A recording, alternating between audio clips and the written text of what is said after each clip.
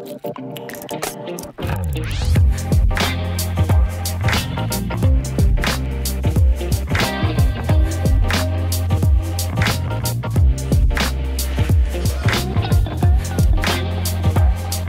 to Dave's Show. My name is Dave, and today I'm here to talk to you about this Whiskey Smoker by Aged and Charred. Now, they did send me this product for a review, but they wanted me to show you what it is and how it works. Now, as you saw in the uh, the preview of this basically what it is. It's a smoker to smoke your cocktails.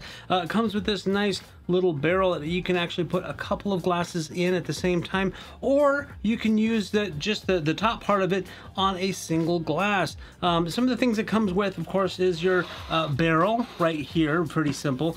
Um, inside the barrel I have this tray and the tray has lights on it if you can see the little LED lights.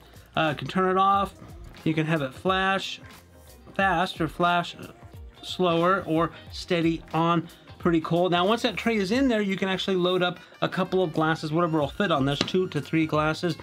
Now you don't have to just smoke cocktails if you have anything else you want to smoke maybe some food. How about some cheese? Hmm? Think about this. Think about what you can use with this.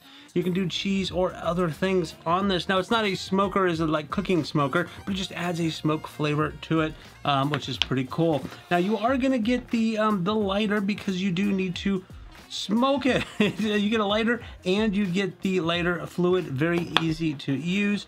You're gonna get this um, charred uh, oak. This is oak chips. Um, so this little sample, this one here gives you basically a sample of one kind of wood and they're just tiny little chips and I'll show you where to put this here in just a minute and how this works but um, they do make other types of wood and or flavors um, they have several different packs that you can get of all kinds of different types of wood. Uh, definitely be good to uh, to check them out and try them this one's oak. It's really nice.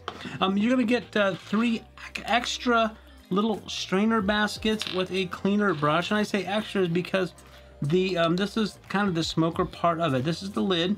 You take that off, and if you can see, it's kind of charred already because I've been using it, and that's what you saw earlier in this video.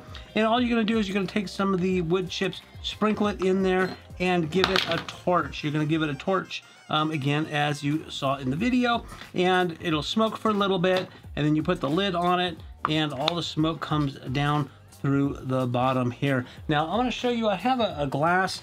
Um, you can set this right on the glass as you've seen. So you can just do one at a time if you would like to, or you can put it in the barrel. This just goes right here on top. There's a little hole that it sets into. Very simple, very easy to use. Um, I think this thing would be a great gift for anybody. Uh, it's uh, coming up here for Father's Day, but uh, when you see this, it could be any time of the year, and it could be for men, it could be for women, it can be for anybody who likes a nice smoked whiskey or anything else you're looking for. Very, very nice, very cool. I enjoy it. If you are looking for a way of uh, changing up your drinks a little bit, add a little smoke, this may be the right one for you.